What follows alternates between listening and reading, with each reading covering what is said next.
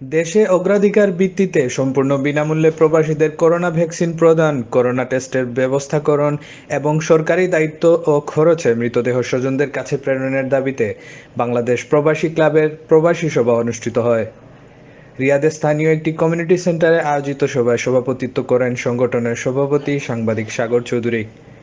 ক্লাবের সাধারণ সম্পাদক জুনায়েদ মাতপরের সঞ্চালনায় প্রবাসীদের স্বার্থ সংশ্লিষ্ট বিষয়ে বক্তব্য রাখেন আরকান শরীফ, জামাল উদ্দিন, ইকবাল হোসেন, কবির হোসেন সাইফুদ্দিন নয়ন ভূঁইয়া ও সোহাগ খান।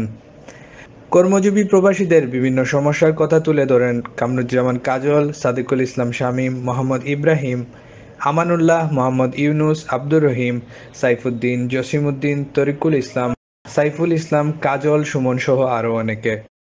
সভায় অংশগ্রহণকারী সকলের হাতে আকর্ষণীয় উপহার সামগ্রী তুলে দেন ক্লাবের কর্মকর্তারা।